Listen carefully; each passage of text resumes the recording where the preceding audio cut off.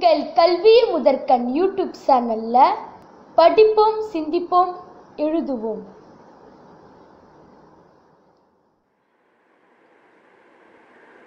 Social footprint class 7. Answer the following in one sentence.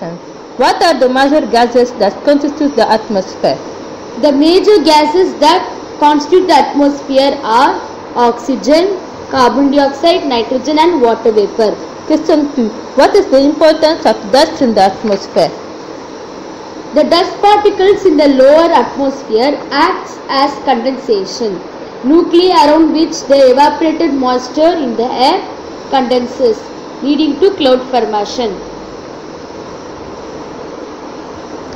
Question 3. What are nocturnal clouds? Noctilucent clouds are occurred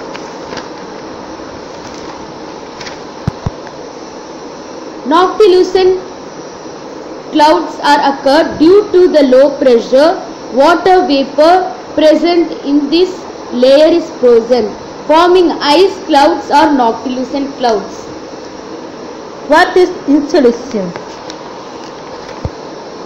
What is insolation? solar energy received by the earth is called insolation or incoming solar radiation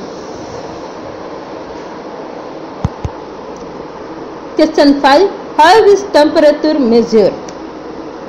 Me- measurement of temperature temperature is measured with the help of an instrument known as thermometer